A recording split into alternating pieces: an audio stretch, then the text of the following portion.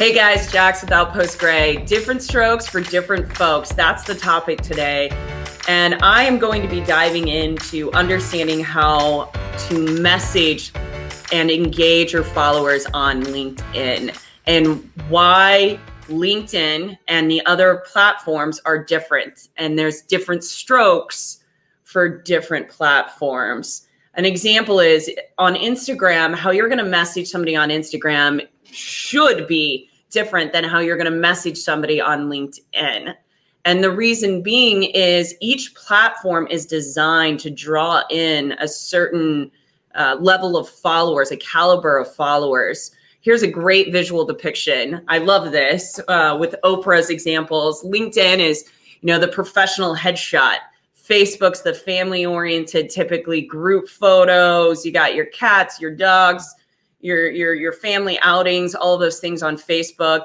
Instagram is filtered and it's a younger generation and you've got your vacation photos and your high glam photos and your Instagram models and then Tinder of course because that's just I don't know who uses that for networking but LinkedIn is designed to be a networking uh, platform to help you grow your network, uh, to help you find your job, or to build business around your company. So how you engage somebody on LinkedIn, I think, is something that we we need to talk about. I'm going to show you some examples that were messages directly to me, and then I'm going to give you some tips at the end to hopefully help you on your journey on building your network on LinkedIn. So this is an example of somebody that was being overly persistent. What you don't see prior to this is that they had messaged me a few other times and I had not responded to them. And then in this example, within just a few days of each other, I they had noticed that I had relaunched my company Outpost Gray. I had not responded, and then they sent me a follow-up message. There's not there's not even a clear like ask of what they're wanting. They're just wanting to talk to me. And when I see something like this, and, and especially the earlier messages, it's time sucking because I'm not seeing any value out of this relationship right now.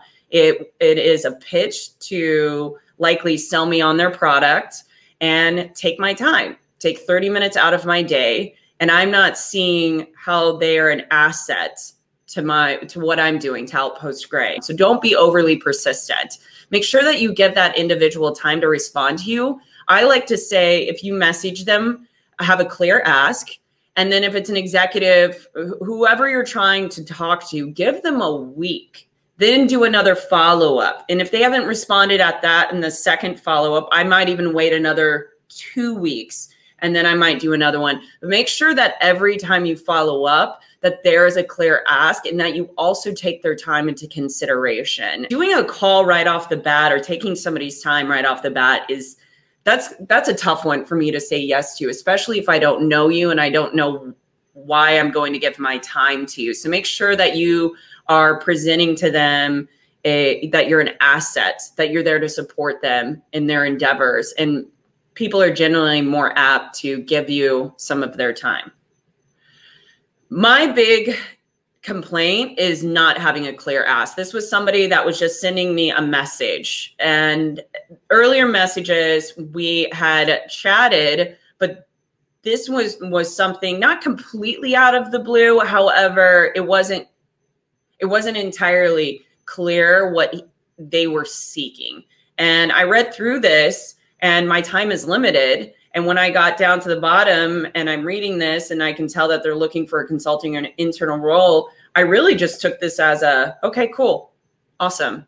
I don't have an ask. You did not ask me. I don't I don't know what this individual is wanting from me. Are they wanting me to keep an eye out for any consulting positions that I might see that could fit fit their position of what they're wanting to do? Well, I don't know what that is. I don't know what their resume looks like. So those are the things that you need to consider it and the best thing you can do is take yourself out of where you're at and think about what would you do if somebody sent you this exact same message can you action it if i don't have a clear ask i'm not going to i'm not going to spend my time to construct a message to write you back to ask you what you need just ask this right here never responded to the individual can i ask you a question This isn't a dating site, guys. Like, that's, I don't know what this person wants. A better approach to this would have been, um, Hey, Miss Scott, I was reviewing your site and I see that you are in cyber threat intel, and I'm very curious about learning more about threat hunting. I have been doing X training and I'm curious on your insights of this training, or do you have any suggestions on something else? I don't, again, I don't know what their ask is. I'm just assuming maybe that's what it is. I don't know. So, everybody, just ask the question and ask it in a way that you've taken time to review their profile. This is a great example of a message that I received. Uh, it was it was clear and to the point. This was the basis of the message. This was the second message we had initially uh, uh, connected. I think like a couple of months ago, and he just reached out to me. He's doing a transition and he wants to expand his knowledge. And he asked me if I had any recommendations for any books or online classes. Of course, I recommended our cybersecurity book, uh, Cybersecurity Career Master Plan. Check it out. Packt Publishing. You can get it on Amazon. But this is awesome, clear and to the point, and it's something that I can respond to very easily. And it didn't take me long to read through. It was a good ask. This was another great example. A little long. I appreciate it because it was very detailed, it was very well thought out, and it has an ask. What I also really liked about it is the last paragraph. He took my time into consideration. If you don't have time, no hard feelings. I know you don't know me, and I'm contacting you out of the blue. But then he added in, in there about how he had seen the interview with Dr. Auger which there was commonality, which told me that he's not just uh, scanning through LinkedIn and trying to message individuals, but he actually had seen a podcast or a YouTube that I had done with Dr. Auger and connected that together to reach out to me, which showed me that he spent time researching me and I did respond back to him and I gave him my feedback. And this is the type of, these are the type of messages that I like to receive because then I know that you're doing your due diligence and not just reaching out to say, hey, can I ask you a question? Here are the tips that I will provide you. And again, this is specific for LinkedIn. This is a professional platform. Professional data needs to come out like when you're in your news feeds, uh, and how you're communicating with those in your network needs to be professional.